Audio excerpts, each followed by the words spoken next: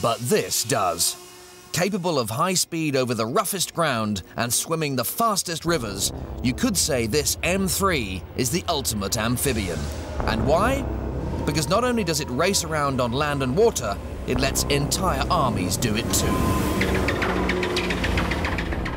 But how? Well, check this out.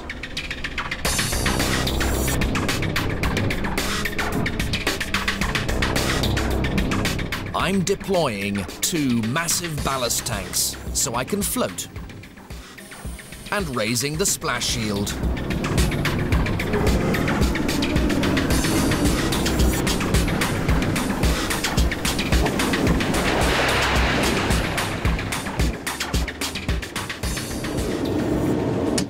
This fantastic amphibious truck is a transformer.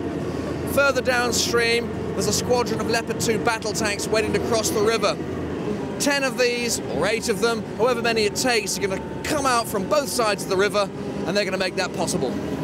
As the M3 amphibian approaches the river, the water driver races to his position at the back of the craft and takes up his controls. It's now a high-speed watercraft.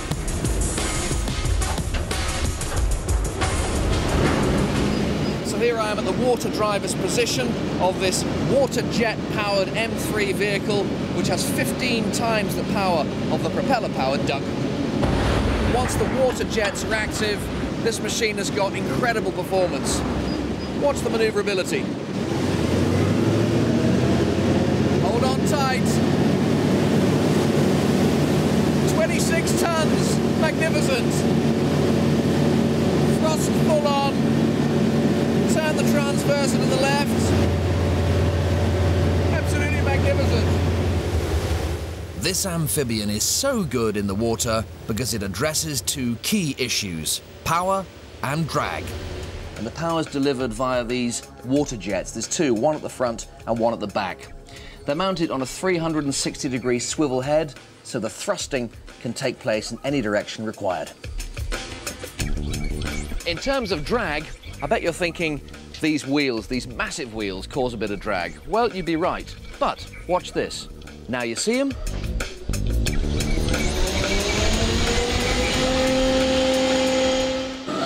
Now you don't.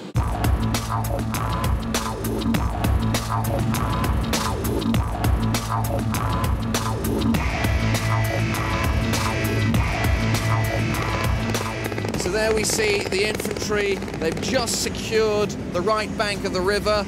They're now waiting for the M3s to move in. and get the tanks across. But just how are the amphibians going to get a whole squadron of 70 ton tanks to the other side?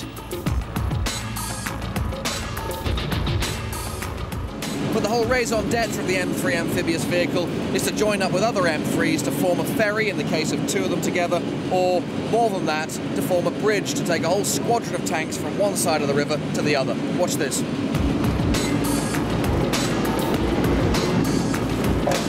And I'm going to actually time the whole formation of the bridge. Here we go. It's an exercise that should take around about 10 minutes, 15 or 20, we shall see. Captain Vogt is very proud of the speed of this exercise.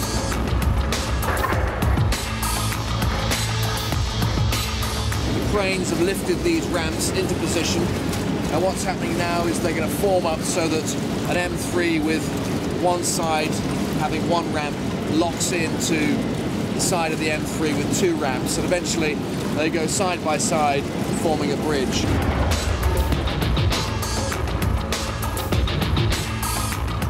Docking these two unwieldy Leviathans to complete the M3's transformation into a tank bridge is going to take all the skill of the eight drivers. There we are, eight M3s have formed that bridge in, well, I make it nine minutes. Excellent. I almost feel like breaking into a round of applause.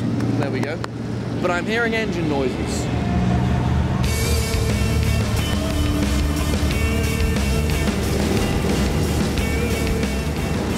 Have our first Leopard 2 tank crossing. It's around about 70 tons worth of weight, so it's quite a feat by the M3s to create a bridge strong enough to take a whole squadron on.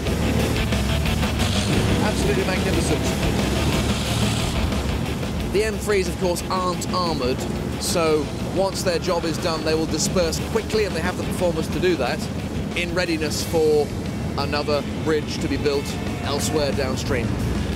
Everything but the kitchen sink is coming over.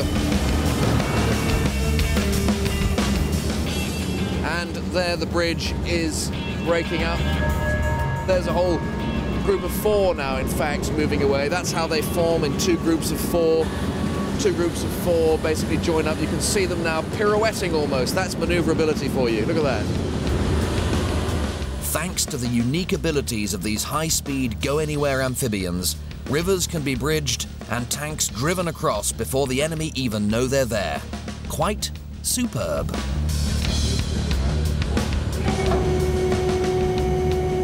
Up we come, we're getting on the wheels now, we're being held by the jets at the back.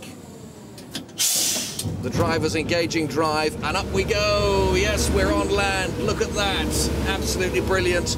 Only an amphibian could do that. The special jobs where land meets water, nothing else will do.